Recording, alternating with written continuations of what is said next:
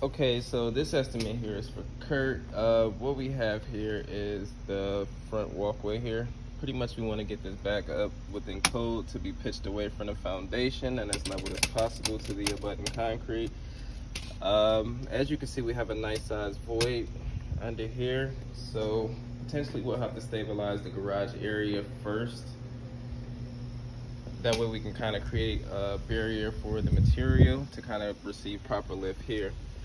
Uh, prep work for the homeowner would be to kind of chisel this section here free. That way we could receive proper lift. Mr. Level would be responsible for any damages.